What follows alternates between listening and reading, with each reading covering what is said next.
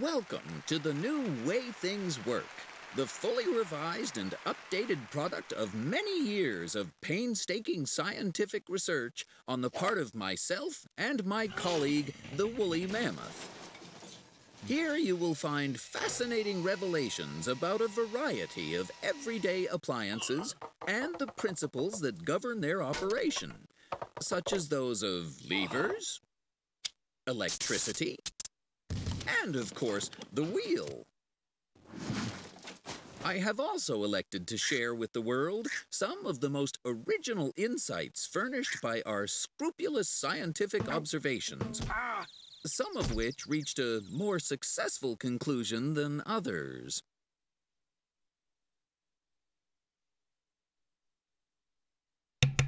Hey everyone, welcome back to another episode of Little Bumble Bears Let's Play. I'm Kristen, and we're here with another wonderful DK game. This is the updated The New Way Things Work, the uh, updated version of The Way Things Work. I hope you enjoy. Be sure to give this video a thumbs up, leave a comment down below. Do you remember this game or the original one? Let me know, and of course, subscribe for more nostalgic gaming so you don't miss out.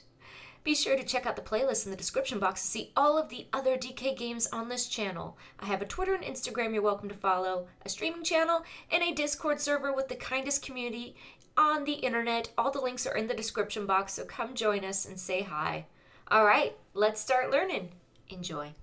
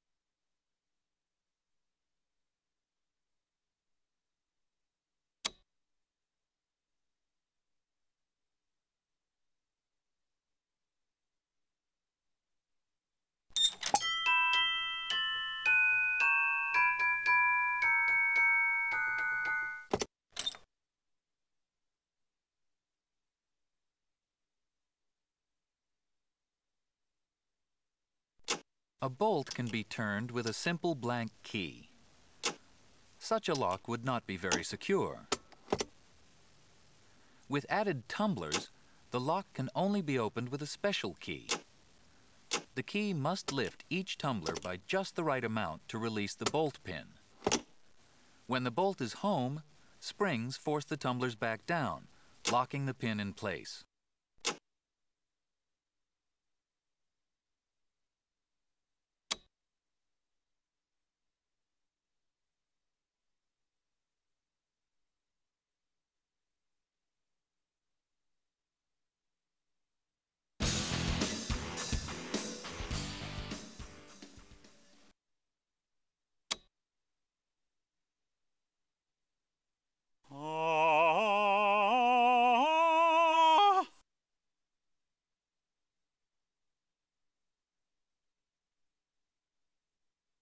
When there is no sound, the battery charges up the diaphragm and the fixed plate, but there is no electron flow through the resistor, and so no voltage between the output wires. When a sound wave pushes the diaphragm in, the plates can hold more charge, so electrons flow onto the diaphragm and away from the plate. The flow of these electrons through the resistor creates an output voltage across it, so electrons may flow along the output wires. When the sound wave pulls the diaphragm out, the plates can hold less charge, so electrons flow away from the diaphragm. This creates an electron flow in the opposite direction.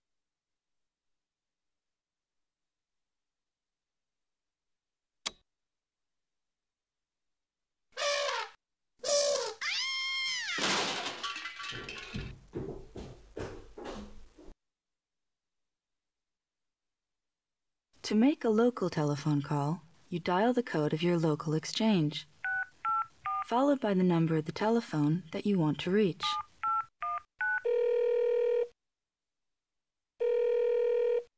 Hello?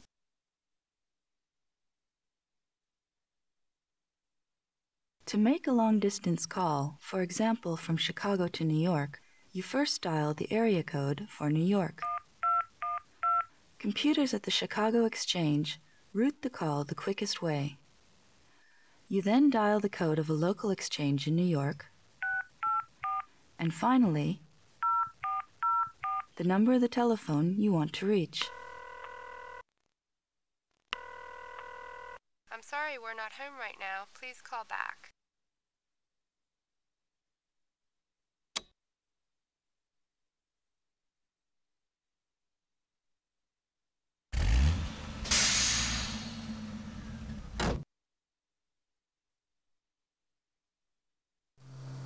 As the engine runs, the water in the cooling system heats up.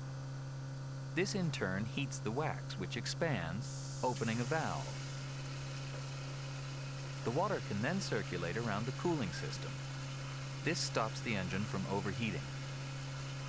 As the water cools, the wax contracts, closing the valve. This prevents the engine from becoming too cold.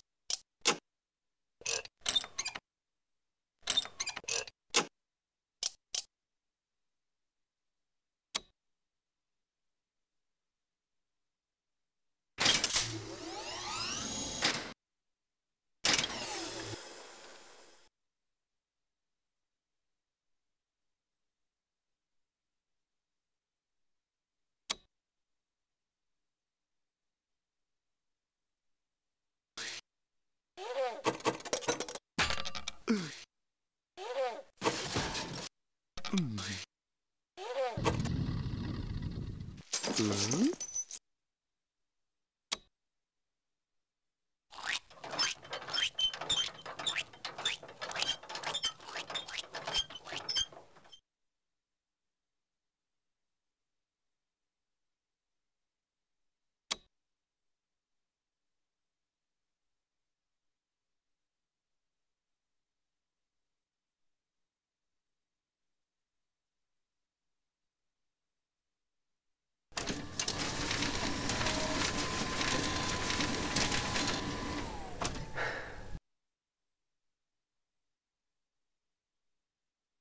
The drum charger gives the drum a negative charge.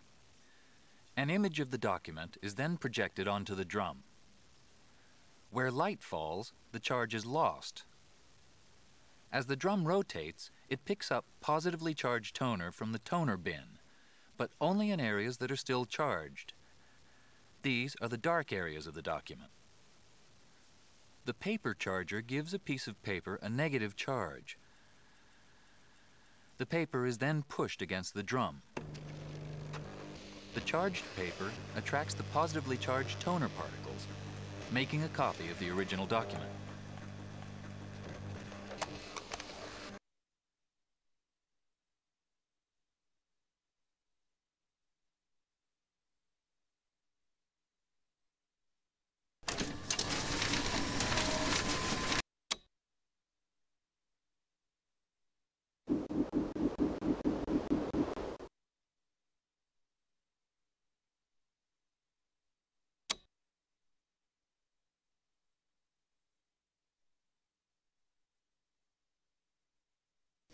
Please fasten your seatbelts as we're preparing to land.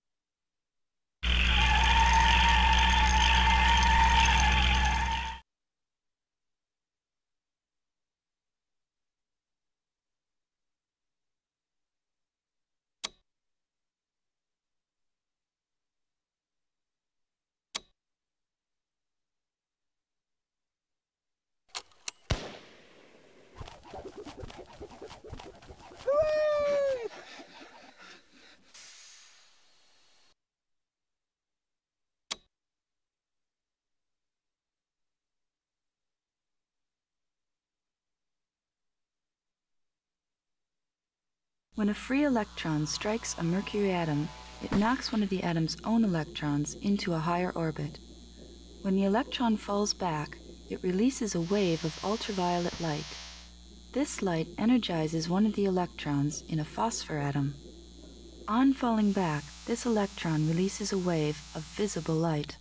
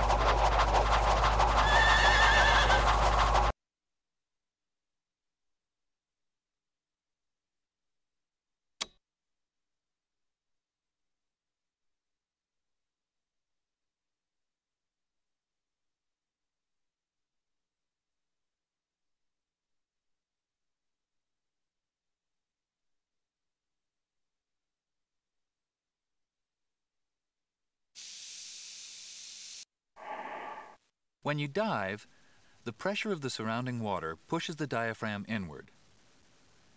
This pushes on a lever which opens the air inlet valve. As air flows in from the tank, it pushes the diaphragm back out, closing the valve. The air is now at the same pressure as the water. When you breathe in, the suction pulls the diaphragm inward and the valve opens to let in more air. When you breathe out, your breath pushes open the exhaust valve and bubbles out into the water.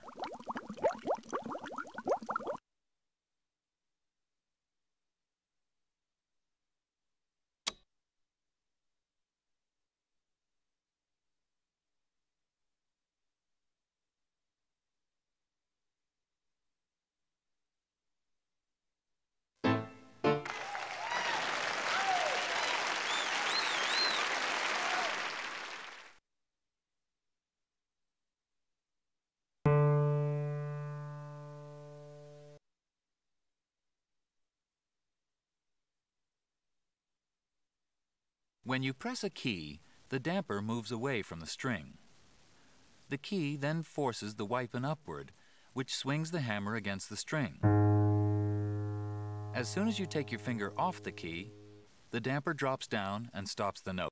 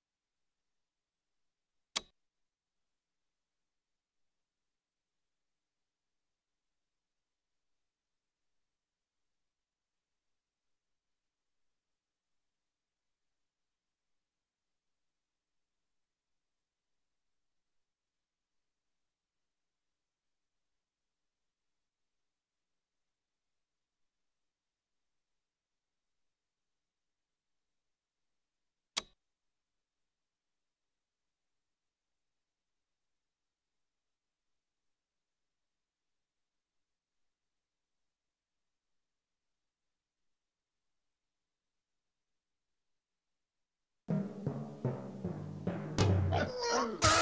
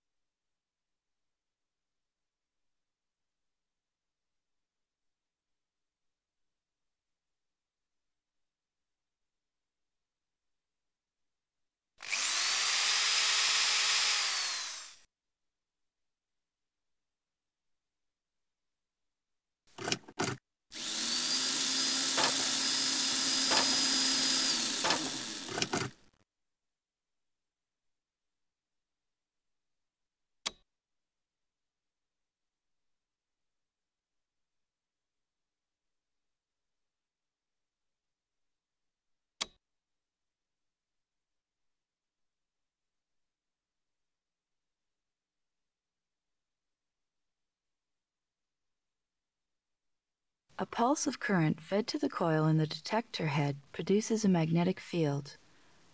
The field induces currents in any nearby piece of metal. This current creates a magnetic field in the object, which in turn induces a current in the coil. The current is detected and an audible signal alerts the treasure hunter.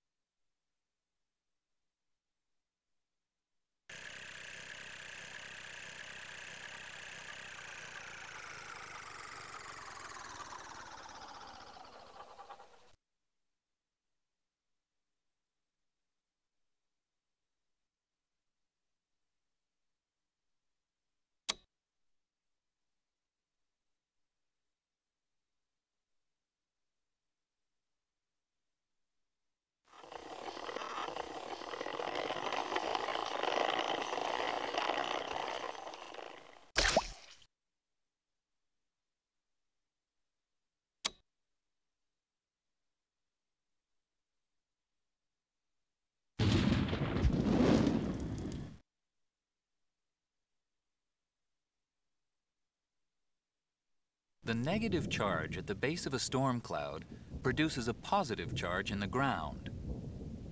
This can result in a dangerous and destructive lightning strike.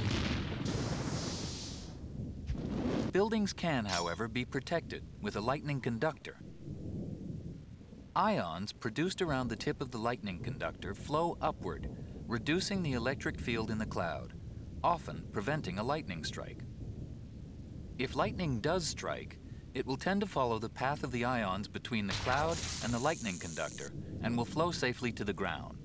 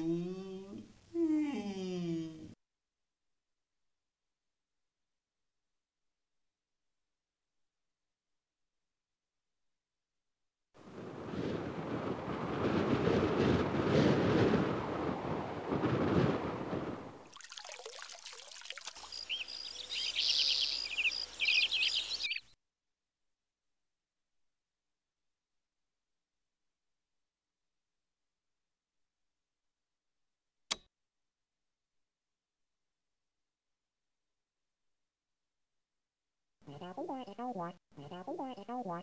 Mày ra cũng ra, tao quạt, tao quạt.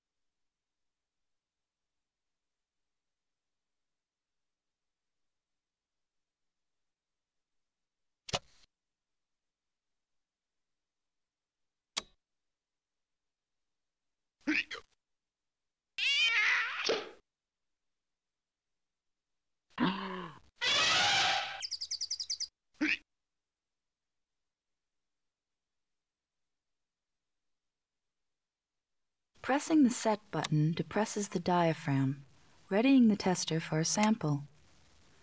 As the driver blows into the tube, a pressure sensor is activated, Light A comes on and a timer starts.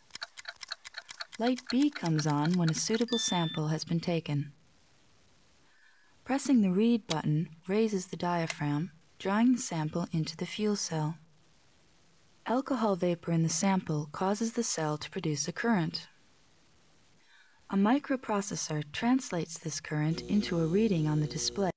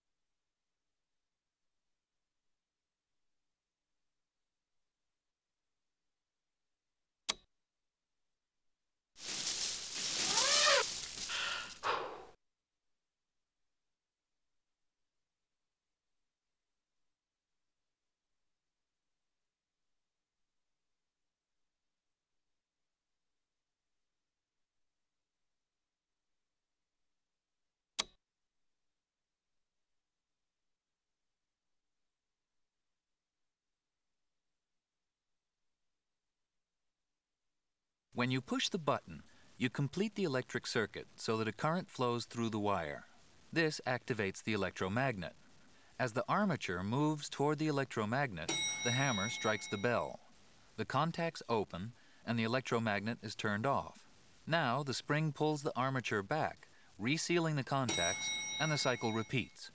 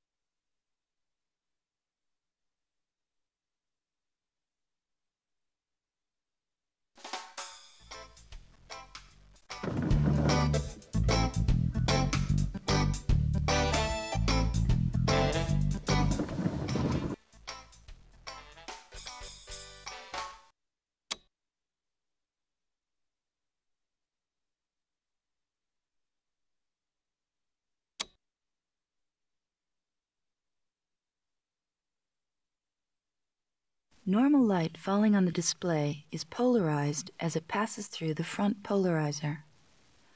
If a segment is off, the light is twisted as it passes through the liquid crystal layer.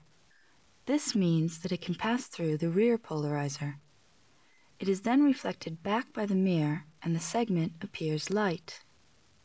If the segment is on, however, the liquid crystal does not twist the polarized light.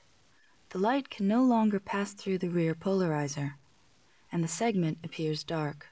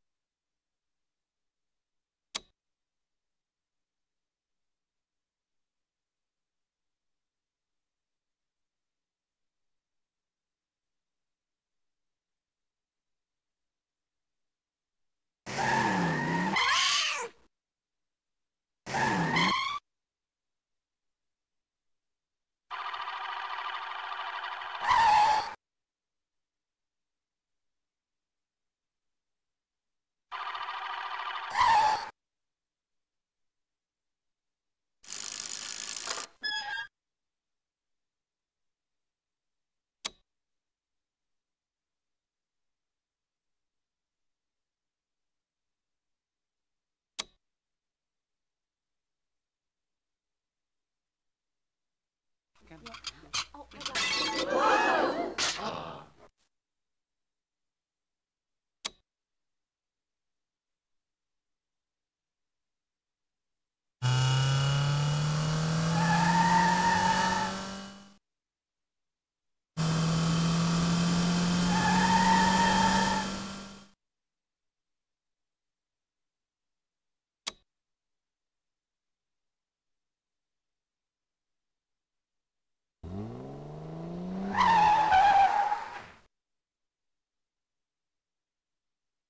When the seat belt is pulled slowly, the belt shaft turns freely inside the clutch.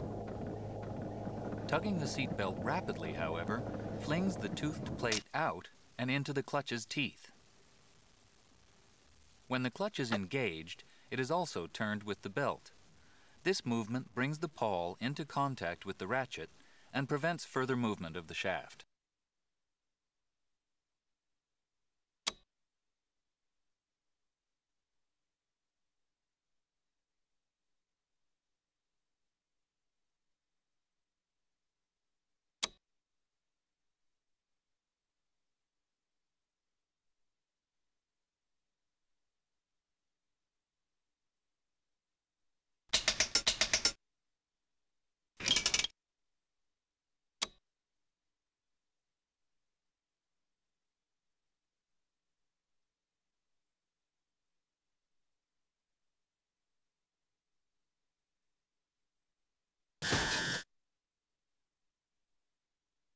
When you turn the laser on, the cathode produces electrons which move through the gas towards the anode.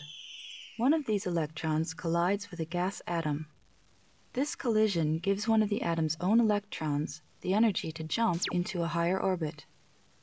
As the electron falls back into its original orbit, it loses its extra energy in the form of a tiny burst of light rays called a photon. When this photon hits another energized atom, the atom produces its own photon with waves exactly in step with the first. These photons hit more energized atoms and a chain reaction starts. Growing numbers of photons bounce back and forth between the two mirrors, creating an intense beam. The beam builds in intensity until it bursts through the semi-silvered mirror as a laser beam.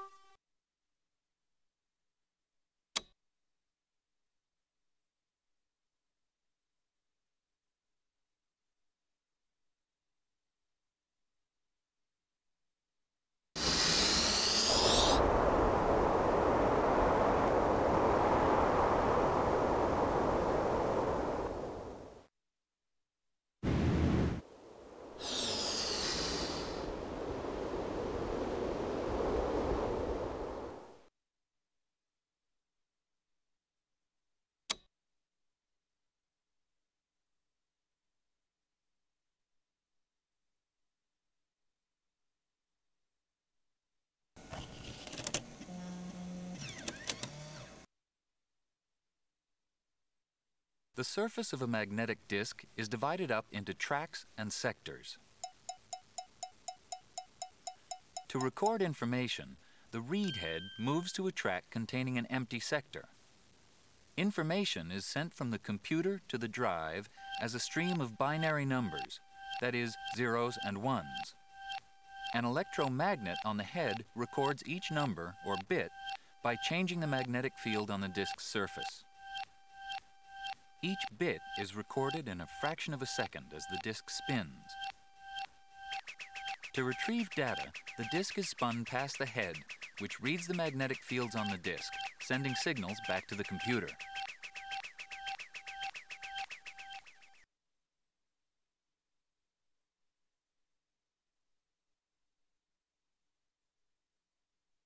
A sliding metal guard covers the disk surface when the disk is not in use. A lever inside the drive pushes the cover back when you insert the disk. A plastic shell protects the disk inside and keeps it flat. Inside the casing, a pair of gauze pads protect the disk, reducing friction and keeping the disk clean. A metal hub allows the motor to grip the disk securely and spin it at the right speed.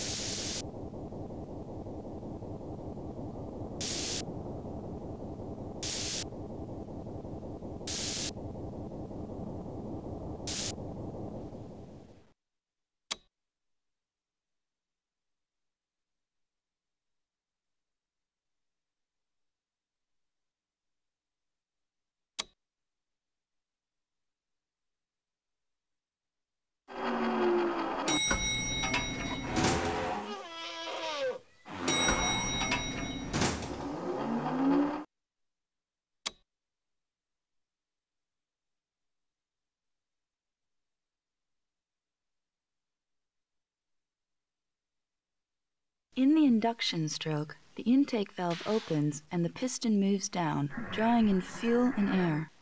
Then, in the compression stroke, the intake valve closes and the piston rises, squashing the fuel and air. In the power stroke, the spark plug fires to ignite the fuel and air. The powerful explosion forces the piston downward. Then, in the exhaust stroke, the exhaust valve opens and the piston rises, forcing the exhaust gases out of the cylinder. The cycle repeats, with the piston moving up and down many times a second.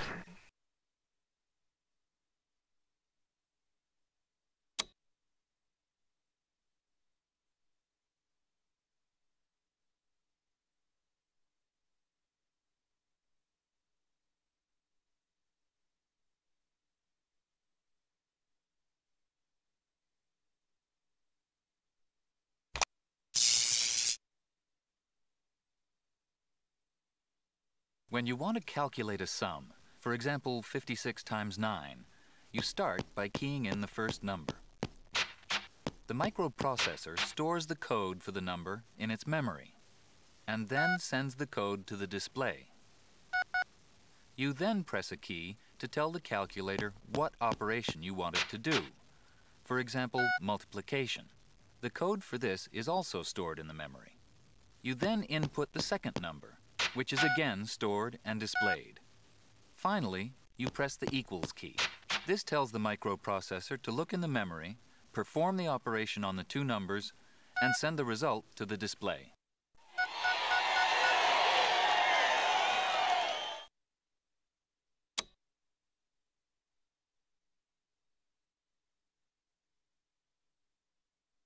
Light hitting atoms in the p-type layer frees electrons. These electrons are attracted to the n-type layer. Electrons from deeper in the p-type layer replace those which are lost. As more light rays hit the cell, electrons flow around a circuit as an electric current before returning to the bottom of the p-type layer.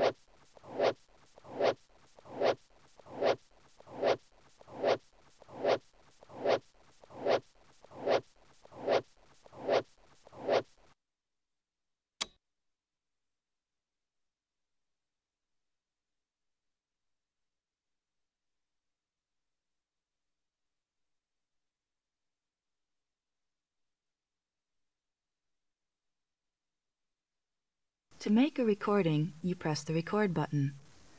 This pushes the record playhead against the tape, presses the tape between the capstan and the pinch wheel, and starts the motor.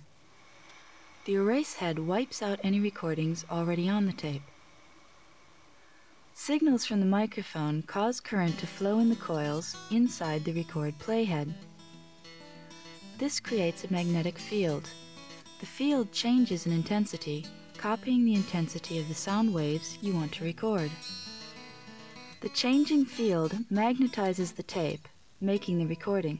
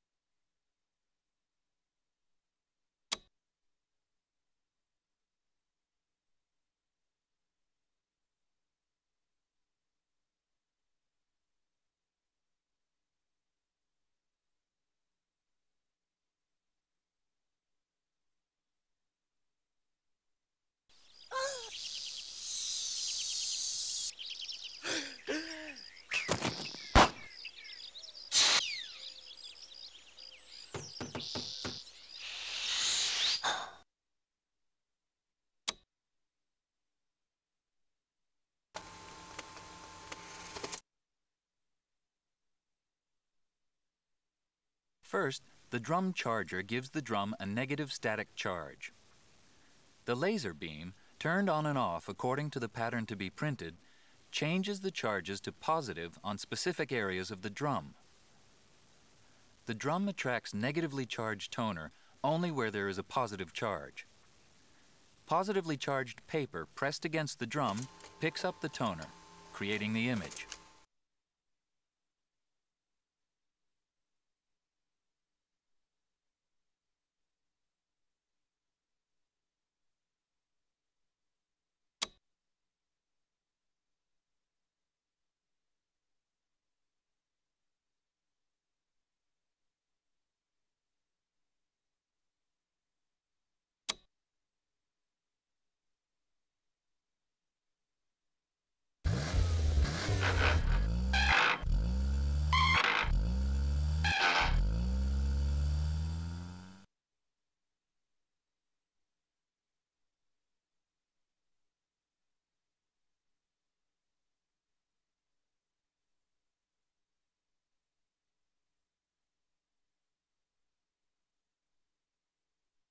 The gear wheel turns freely on the transmission shaft because it has a ball bearing at its center.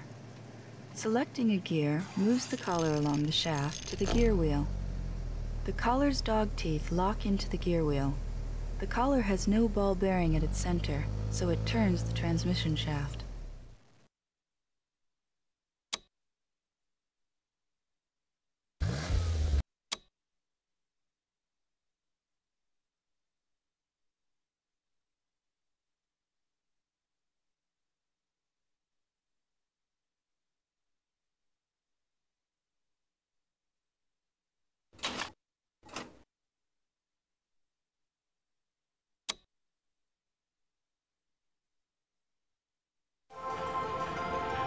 Mm-hmm.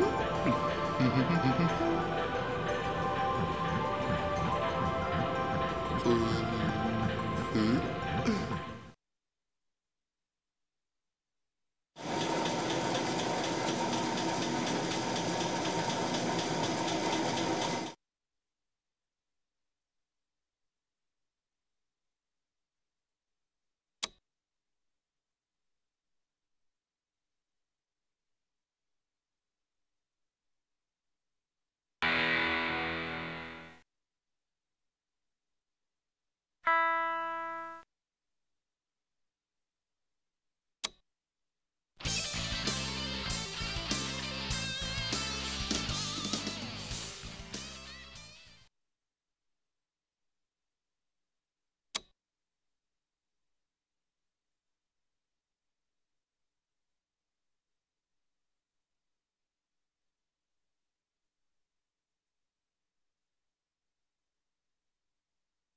When you turn on the X-ray tube, electrons flow from the negative cathode towards a tungsten target set in the positive copper anode. These electrons produce X-rays in two ways. First, an electron may be slowed and deflected by a tungsten atom, giving off an X-ray photon as it loses energy. Second, an incoming electron may knock one of the tungsten's atom's own electrons out of an inner orbit. An X-ray photon is produced as an electron from an outer orbit moves in to take its place. The tungsten target is angled so that the X-ray beam emerges from a window in the side of the tube.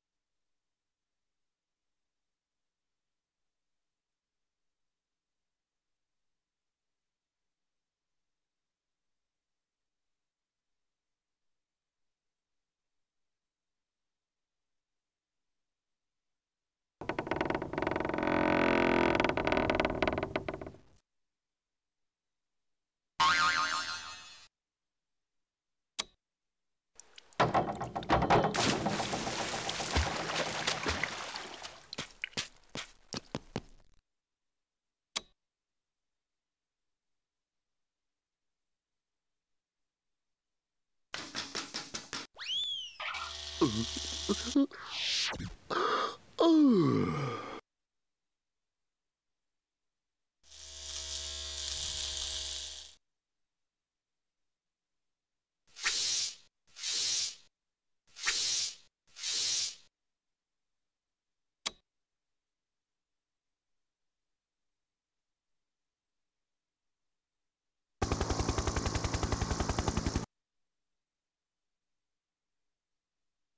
To raise the helicopter vertically, the pilot raises the swash plates.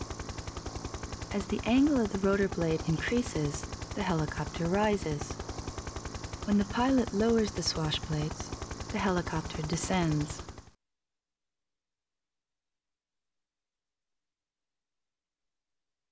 When the pilot tilts the swash plates forward, the lift at the back of the rotor increases. This moves the helicopter forward. When the pilot tilts the swash plates backward, the lift at the front of the rotor increases, and so the helicopter moves backward.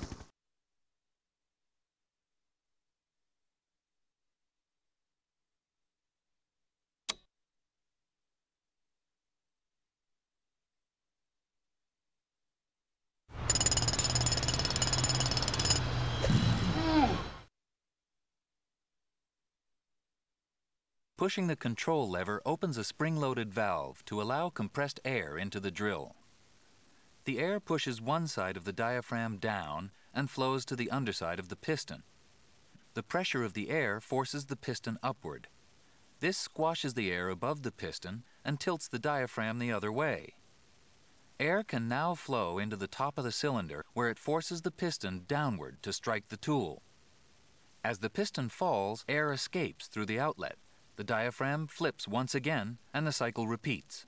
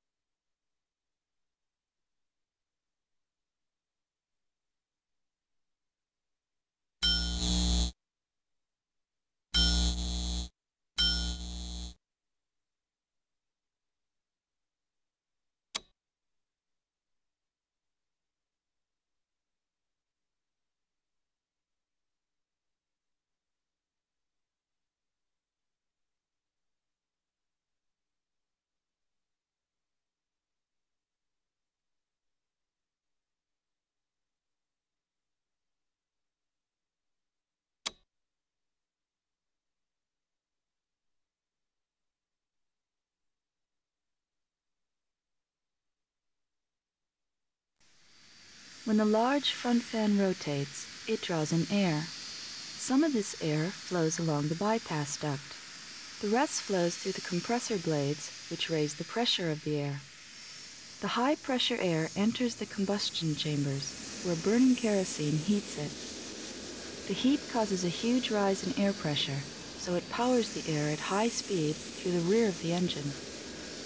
The hot air spins the fan turbines, which drive the engine. It then meets with the bypass air and speeds from the exhaust with tremendous force.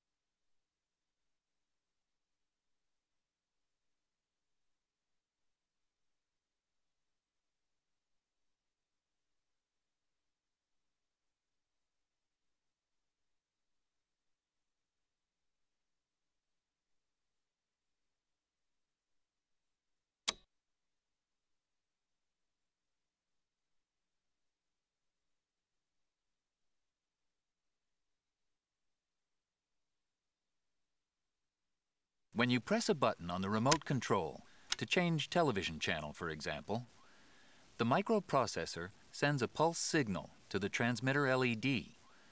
The LED changes the pulses of electricity into pulses of infrared light, which travel across the room. At the receiving end, a photodiode in the television changes the infrared pulses back into electrical pulses. A microprocessor in the television interprets the pulses and changes the channel.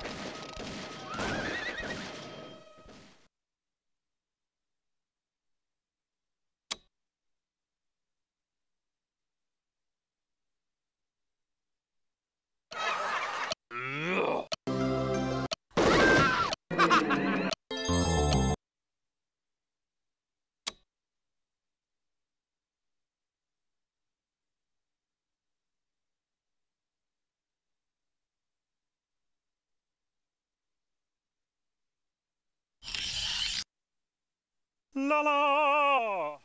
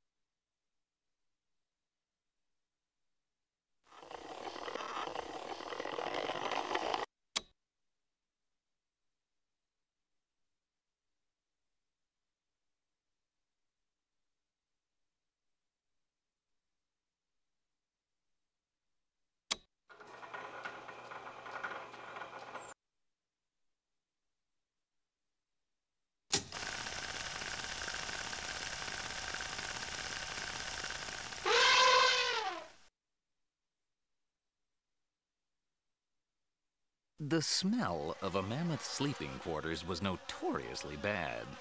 To control this problem, keepers trained their mammoths to sleep on mats, which had to be changed with some regularity. Moving a beast to change the foul-smelling fabric, however, was not an easy task. One day, I observed that a certain keeper had less trouble than others.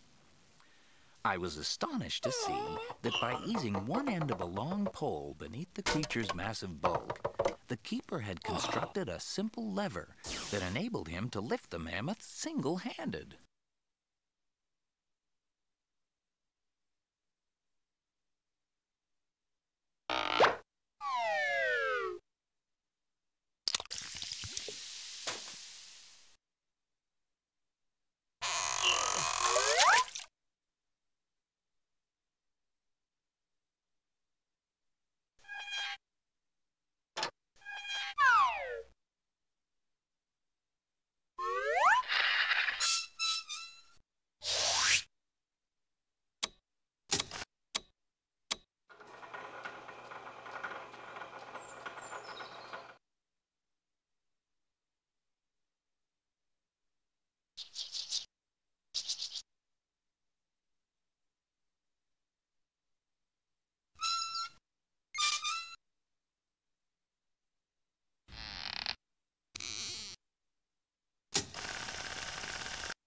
A recently discovered document proves the enormous intelligence of mammoths. A knight and his trusty mammoth were trying to rescue a beautiful princess trapped in a tower. The knight charged up the steps of the tower only to find that the door was locked. Now the mammoth had a bright idea. Holding a tree trunk, he began to turn the tower. And to the knight's amazement, the tower began to screw itself into the ground, so the princess could leap to safety.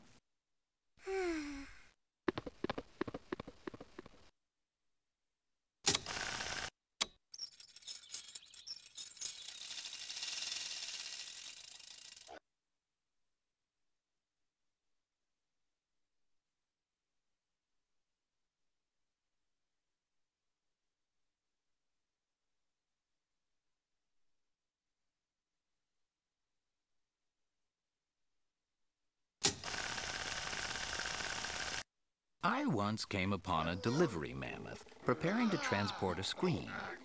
During a sudden gust of wind, the beast was perturbed to find himself lifted into the air, returning to the ground when the wind dropped. Inspired, I began my own experiments and found that a curved screen resulted in a smoother flight. Even so, screen deliveries remained somewhat unpredictable.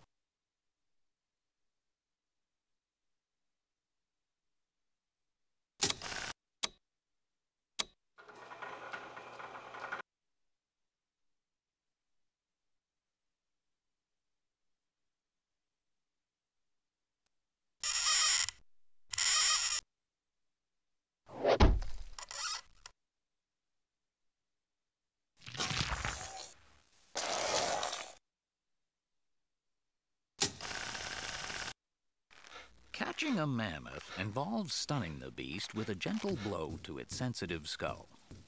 However, raising the boulder high enough was quite a task, and not always successful.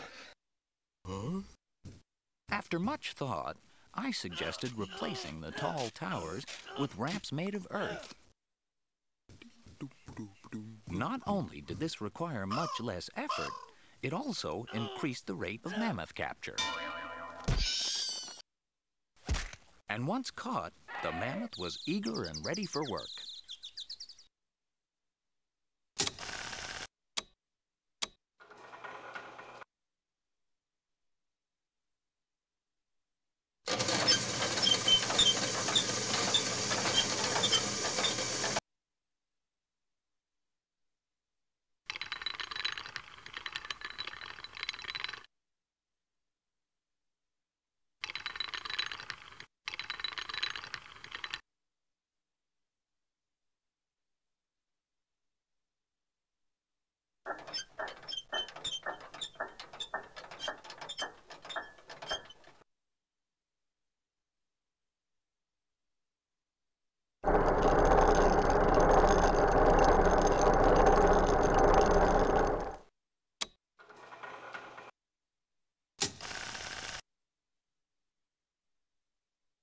The first use of mammoths for entertainment was in the famous carousel experiment. Carrots were used to bribe the mammoths to turn one wheel. But even though the mammoths moved with alarming speed, the crowd still appeared bored. I therefore had the mammoths move to the larger wheel, and the chairs hung from the smaller one. This new arrangement proved to be much more exciting.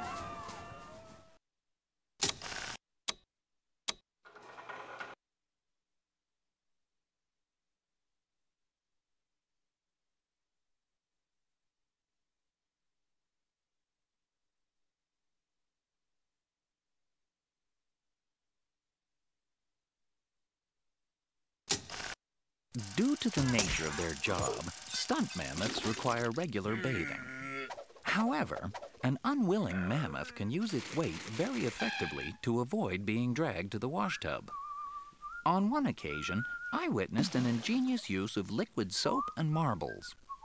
Once spread beneath the animal's mm-hmm. bulk, they greatly reduced its resistance to washing, but sadly not its irritation.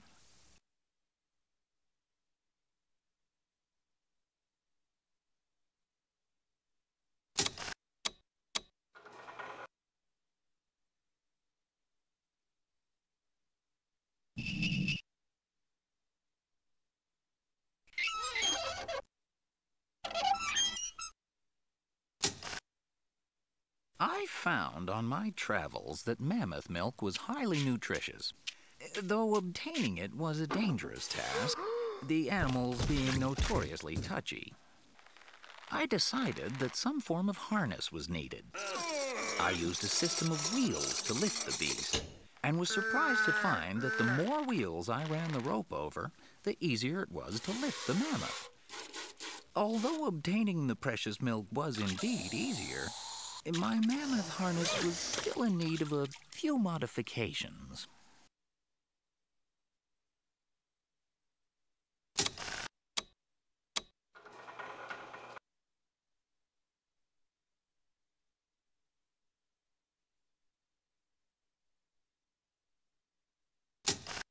When my mammoth boarded a local ferry, the water seemed eager to join the animal on the raft. To my surprise, the raft sank. I solved this problem by building a wall around the raft, preventing the water from getting on board. Because we were still soaking wet when we got to the other side, I lit a large fire in our tent to dry us. Our journey, however, was to continue in a rather uplifting manner.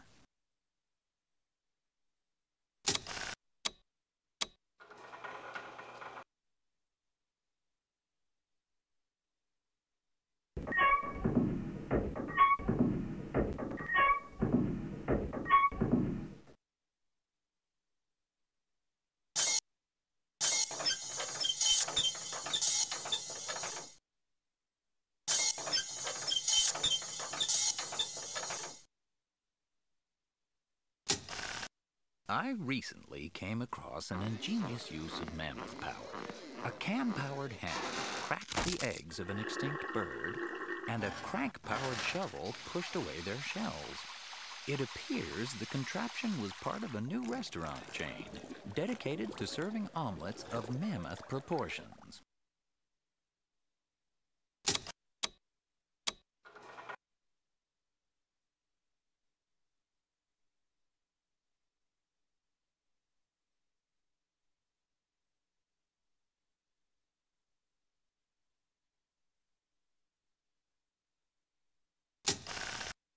Bulky mammoth can move with surprising grace, as I discovered when one young animal borrowed my unicycle. The wheel's rotation aided the beast's natural balance. He became alarmed, however, when the massive wheel resisted his efforts to stop. A pond ended his dizzy trip, but the spinning wheel continued to throw mud far and wide long after the crash.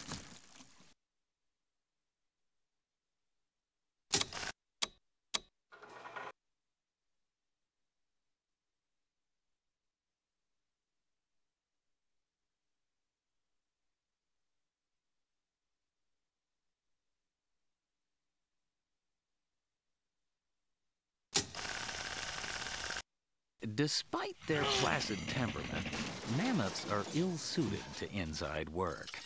But their love of the outdoors makes them eager helpers in an agricultural environment.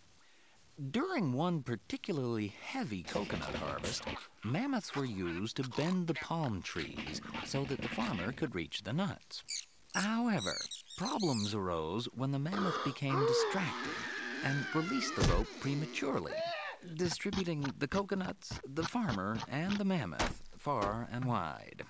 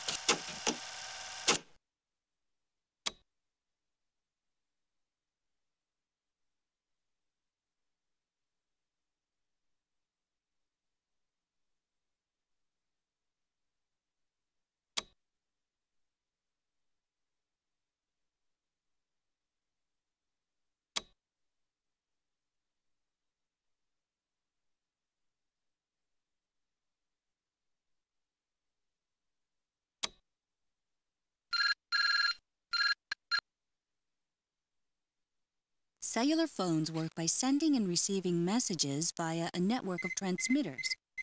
A phone finds out which transmitter is nearest to it by checking which of the available signals is the strongest. This information is used to identify the phone's current location so that calls to the phone can be directed to the right place. Any calls made from the phone will be sent to the local transmitter, which relays them to the central switching office.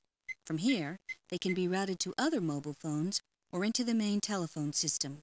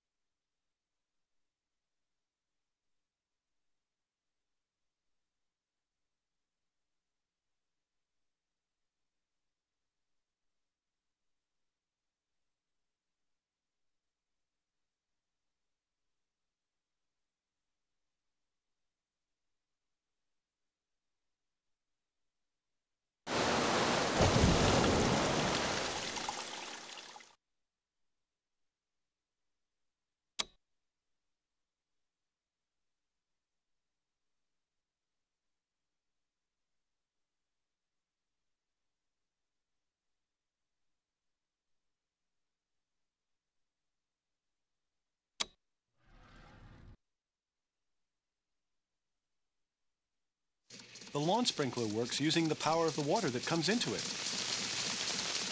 The water comes in, turns gears and cranks, and makes the arm oscillate back and forth, covering a very wide area. In some cases, too wide an area.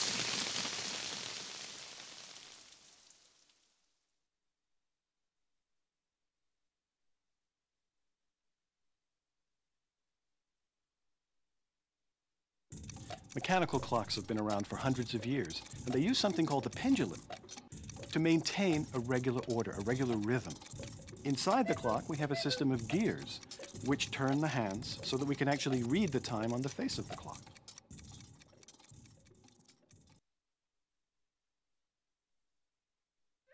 Just in case of emergencies, we have a lot of fire extinguishers in the warehouse. Some are filled with water, some with powder, some with CO2, depending on what kind of fire we have. But they all have a small cylinder of high pressure gas. When I press the lever, the high pressure gas forces the contents out.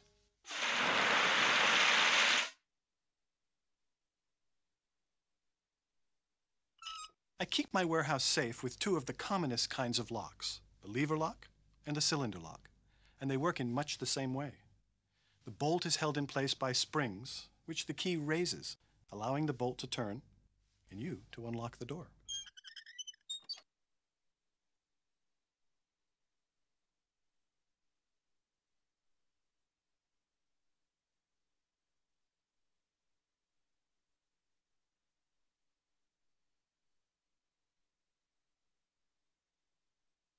Springs come in all different shapes and sizes. There's the coil spring that you might find in your mattress or on the legs of a mammoth. There's the leaf spring, which supports the weight of a truck so it doesn't bounce around too much. And there's a little tiny spring called a hairspring, which you would find in a watch, and it's that spring that keeps the watch turning.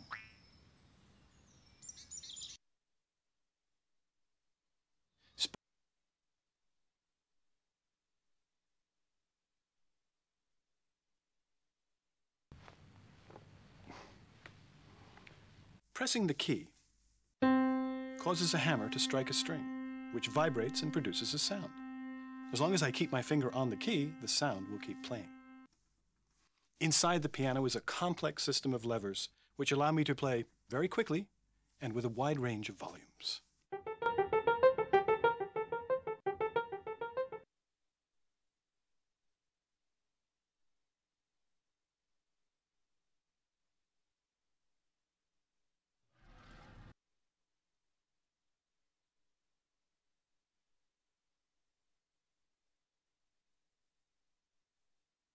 Springs coming in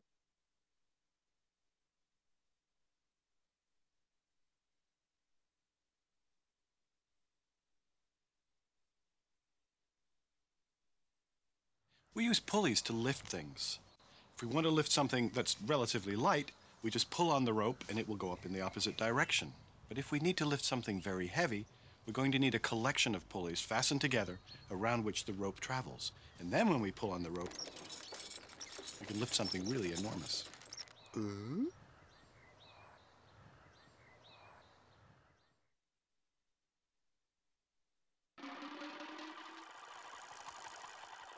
Wheels are among the earliest inventions. Because only a small part of the wheel touches the ground at any one time, they greatly reduce friction. But of course, once they get rolling, they can go on and on.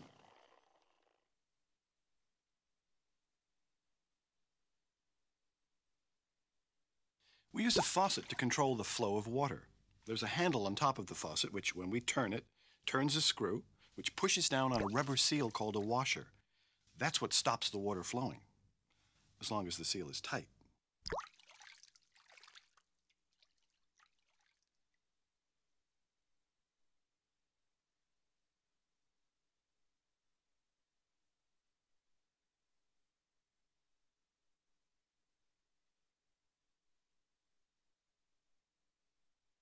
This is my electric guitar, and when the amplifier is turned off, you can barely hear it. But when the amplifier is turned on, it's the noisiest contraption in the warehouse.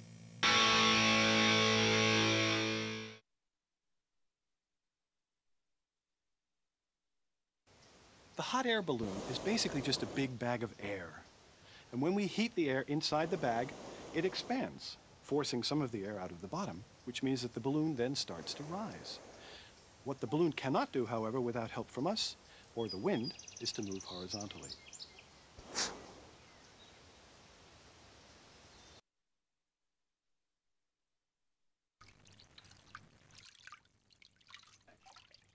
The single lens reflex camera allows the photographer to see what they're taking a picture of. The light passes through the lens and is reflected off a mirror to the viewfinder. When we click the camera, the mirror pops up and the light strikes the film. Perfect pictures every time.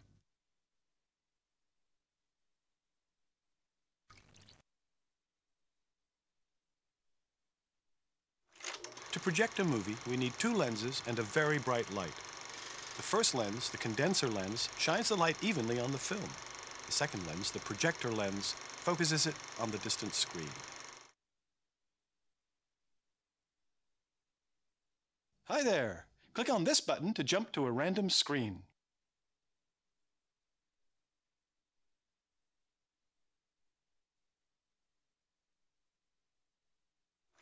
To pro- the electric bell makes use of the principle of electromagnetism. Stop. The electric bell makes use of the principle of electromagnetism. When the electromagnet is turned on, it draws the hammer and strikes the bell. When the magnet is turned off, a spring pulls the hammer back. Now, as long as I keep my finger on the button, this process repeats itself over and over.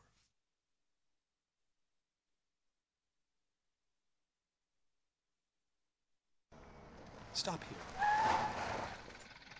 Friction isn't always a bad thing. Car tires, for example, are made of rubber so that they grip the road better, making it easier for the car to turn and to stop. All right, let's drive on.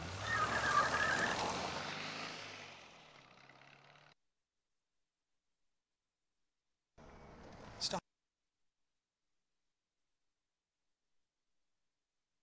The hairdryer creates a powerful blast of hot air, which can be easily directed. It's the hot air that helps the water evaporate much more quickly than cold air. But even this isn't going to help us dry the mammoth.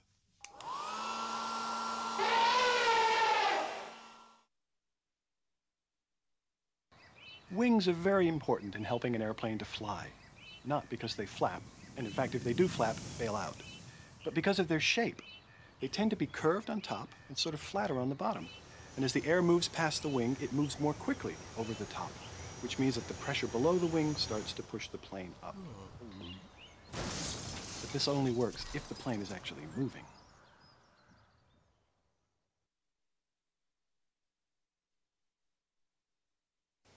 The hot air balloon is basically just a big bag of air.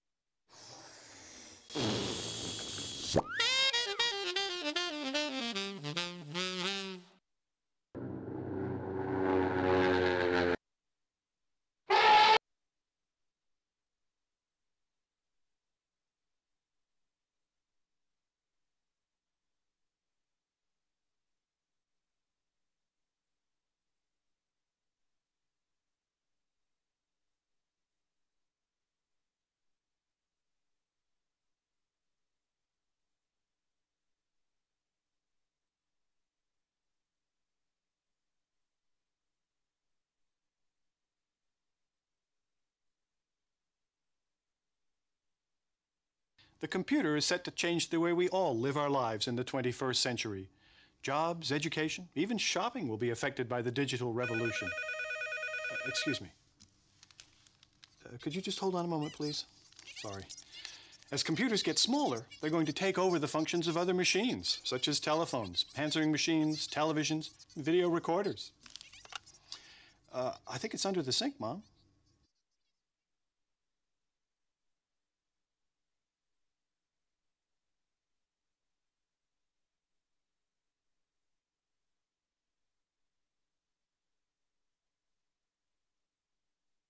Here in the warehouse, we have lots of lights. And for safety's sake, they're all on string pulls. So that if your hands are wet, you need to turn out the light, you won't get a shock.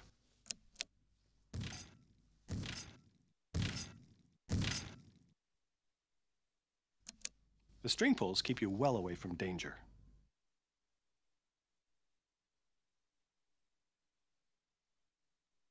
X-rays pass through most materials, such as our bodies, but they're absorbed by metals, and the calcium in our bones is a metal. So with x-rays, doctors can see our bones and see whether there are any breaks or other problems.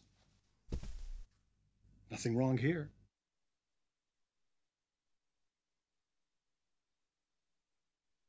Television is one of this century's most influential inventions. Billions of people tune in around the world for news and entertainment. With satellites, live programs can be beamed as they happen as long as we have the technology to pick them up.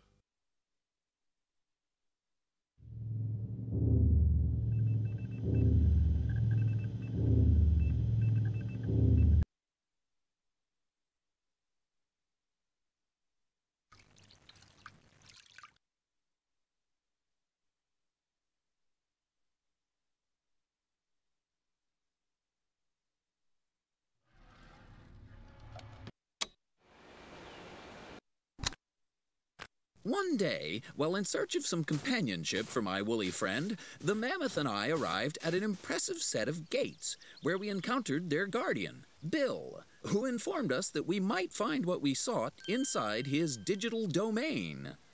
As soon as the mammoth was safely inside Bill's gates, eager assistants began to gather data on every aspect of his considerable being.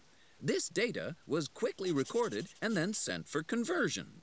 Using rows of crates and countless pumpkins, the data was translated into patterns.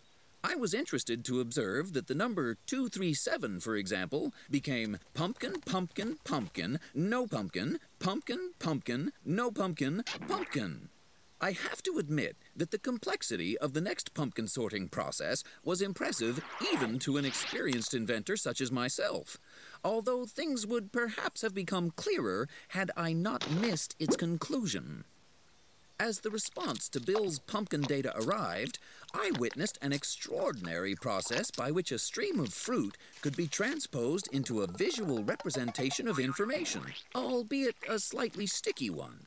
Bill soon announced that he was ready to unveil what he called his Virtual Mammoth Simulator version 1.0. As the images created from the processed data combined with realistic stereo sound, our friends certainly seemed to be thoroughly immersed in the experience. It appeared that his lonely days as the sole representative of his species might be at an end. At least until he tried to get a little too interactive.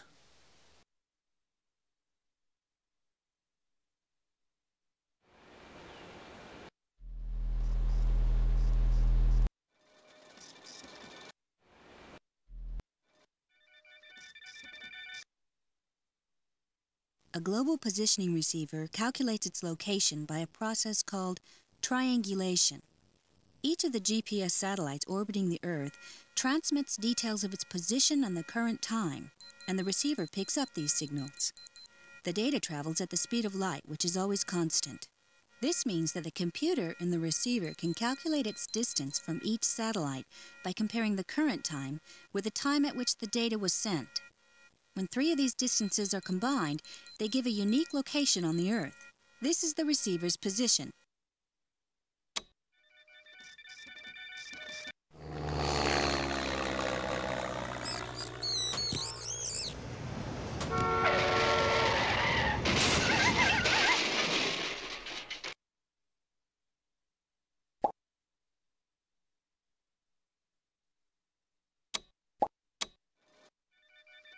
Mm.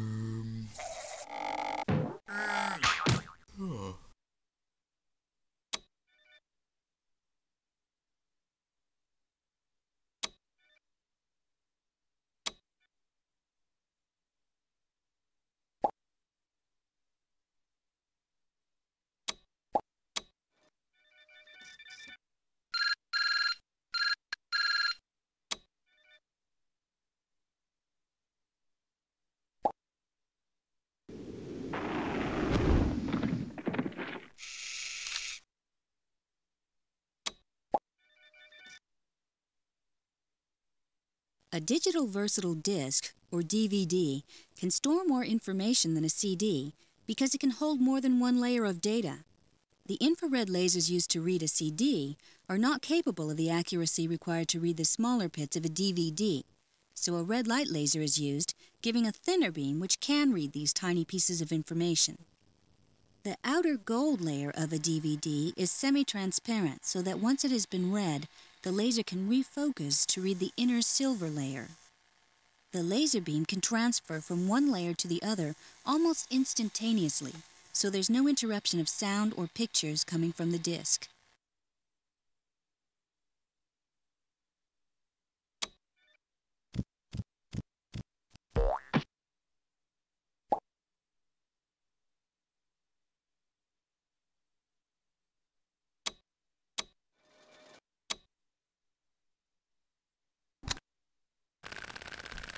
One day, while in search of some companionship for my woolly friend, the mammoth and I arrived.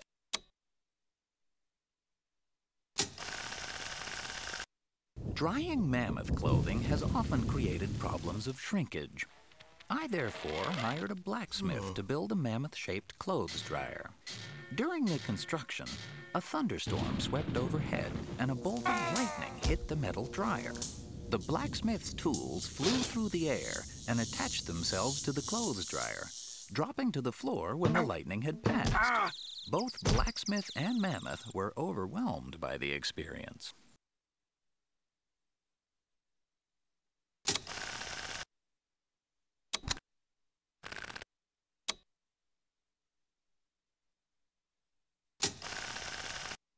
Despite their placid temperament, mammoths are ill-suited to inside work.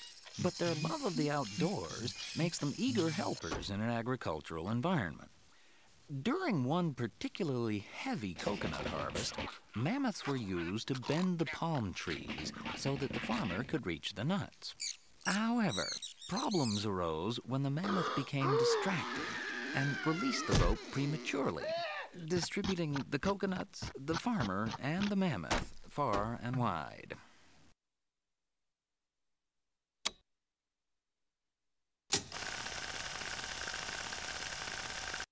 I recently came across an ingenious use of mammoth power. A cam-powered hen cracked the eggs of an extinct bird, and a crank-powered shovel pushed away their shells. It appears the contraption was part of a new restaurant chain dedicated to serving omelets of mammoth proportions.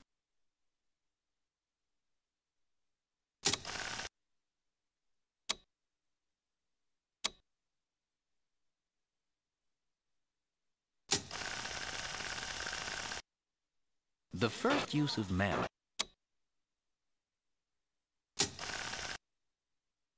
Firefighting mammoths have learnt to take in enough water to extinguish a blaze.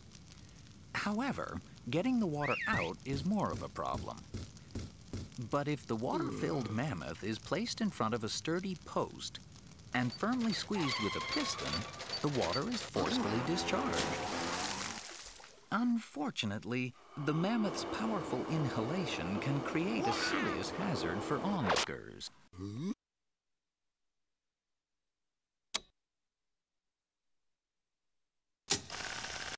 The bulky mammoth can move with surprising grace, as I discovered when one young animal borrowed my unicycle. The wheel's rotation aided the beast's natural balance. He became alarmed, however, when the massive wheel resisted his efforts to stop.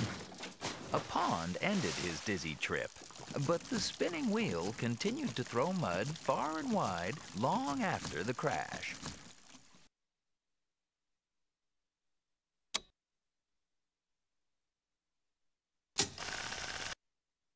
The smell of a mammoth sleeping quarters was notoriously bad. To control this problem, keepers trained their mammoths to sleep on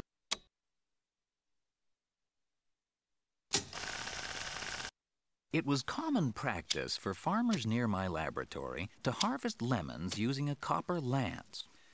I decided to help by equipping the workers' mammoths with some lightweight zinc rods which I had left over from an earlier experiment. I was surprised to see both workers and mammoths seized by invisible forces each time they speared a lemon. Although the farmers were shocked by this turn of events, I could foresee some useful applications for this new source of power.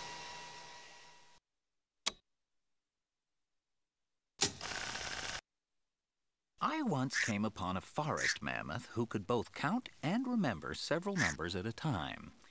His enterprising owner, a logger by trade, would tap a tusk once for each log needed. A pull on his tail would send him off to bring back the requested number of trees. I decided to expand the mammoth's skills by teaching him addition. It was a mistake, however, to have him calculate our restaurant bill. Although he got the total amount right, he delivered the answer in logs.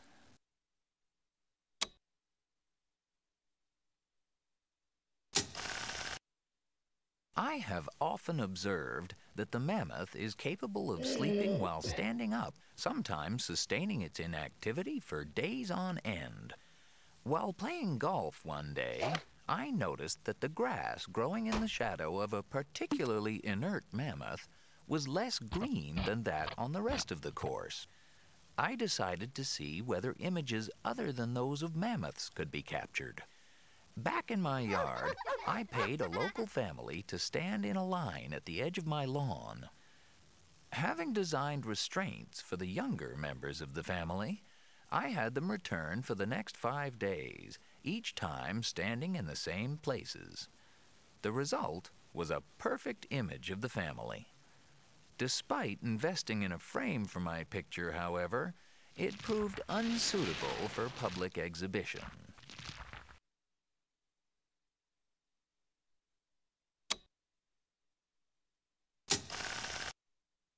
After the runaway success of my pressure-sensitive burglar alarm, I thought of other ways in which the mammoth's sensing abilities could be put to use. I tried one experiment at the airport, using mammoths as metal detectors. Large items in luggage were easily located, but I fear the damage caused to passenger relations was irreparable. And so I turned to experiments with mammoth breath testers. The response to intoxicating fumes was instant, but the workforce needed to bring the mammoth round was enormous.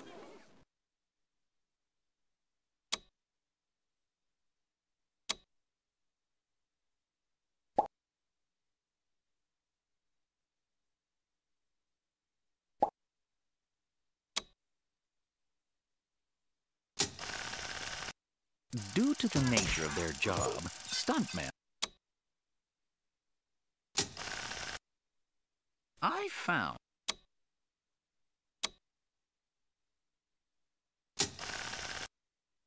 The mammoth is not renowned for its abilities as a musician. So I was most surprised to witness three brave musicians using a mammoth to produce innovative music. A tightly strung tail produced an interesting twang. The animal's taut belly made an admirable boom, while a sharp tap with a hammer made the tusks chime quite pleasantly. The resulting music, enhanced by the mammoth's own trumpet call, could only be described as experimental.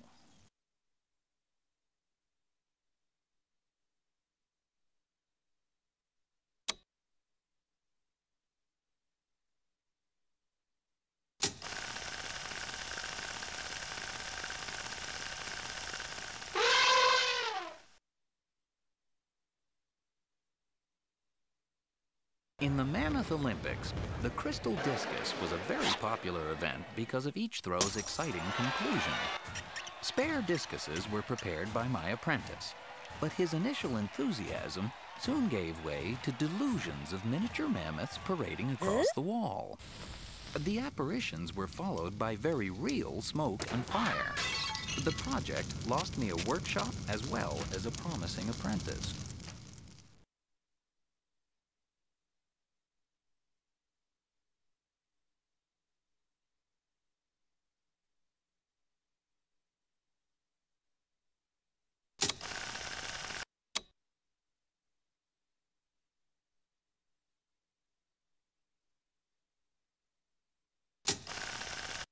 Although mammoths must wear shoes to protect their delicate feet, frequent shoe renewal can become a chore.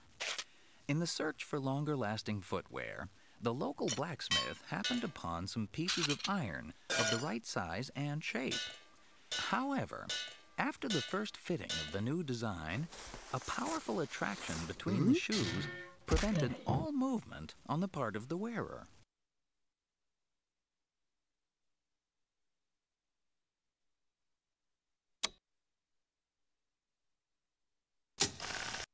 I once came upon a delivery mammoth preparing to transport a screen. During a sudden gust of wind, the beast was perturbed to find himself lifted into the air, returning to the ground when the wind dropped. Inspired, I began my own experiments and found that a curved screen resulted in a smoother flight. Even so, screen deliveries remained somewhat unpredictable.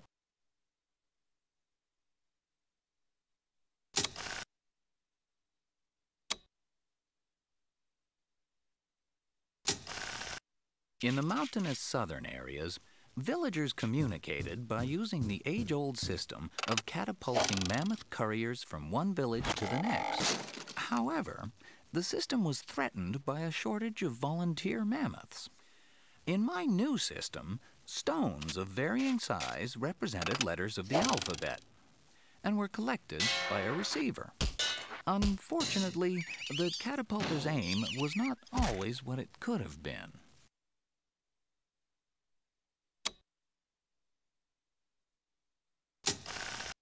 A recently discovered document proves the enormous intelligence of mammoths. A knight and his trusty mammoth were trying to rescue a beautiful princess trapped in a tower. The knight charged up the steps of the tower, only to find that the door was locked. Now the mammoth had a bright idea. Holding a tree trunk, he began to turn the tower. And to the knight's amazement, the tower began to screw itself into the ground, so the princess could leap to safety.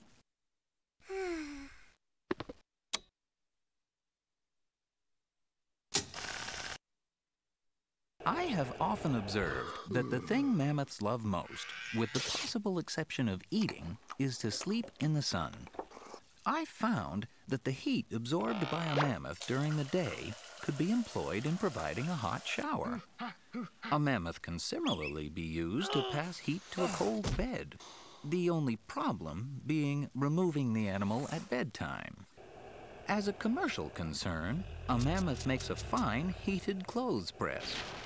It is essential, however, to use nimble employees for this task, as the mammoth may resume its original position at any time.